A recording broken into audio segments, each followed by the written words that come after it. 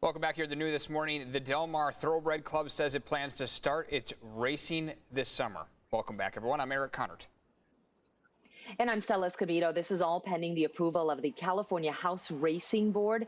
News Neda Iranpour is live in Del Mar with what we are learning. Good morning, Neda.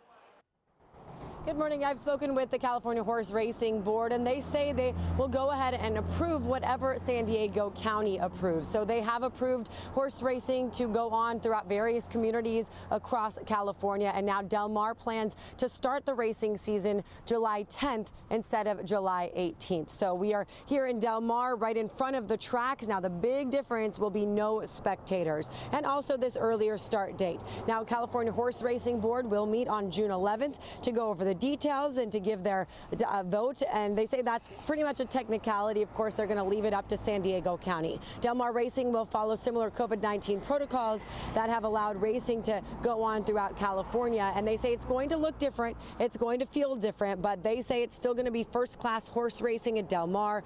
And they believe these unusual times, that is something people can look forward to. So this would be their 81st summer season, one like none other. They're planning that schedule change to start Friday Friday, July 10th, with racing on Friday, Saturday, and Sundays, and then ending on Labor Day, September 7th. The new schedule will call for 291 races over nine weeks, and that's six races less than last year. They've had inquiries from new trainers from all across the country interested in bringing their horses here to Del Mar. And because the San Diego Fair is canceled this year, the track maintenance team can prepare racing surfaces earlier, and they say they can have horses on site sooner than in the past. Josh Rubenstein, the Del Mar Thoroughbred Club's president and COO released a statement saying in part that San Diego County's Health and Human Services Agency and its elected officials, working in concert with state officials, have done an incredible job ensuring San Diego stays safe during this difficult time. He went on to say we are grateful for their leadership, guidance, and positive feedback as we implement our safety guidelines that follow the stringent protocols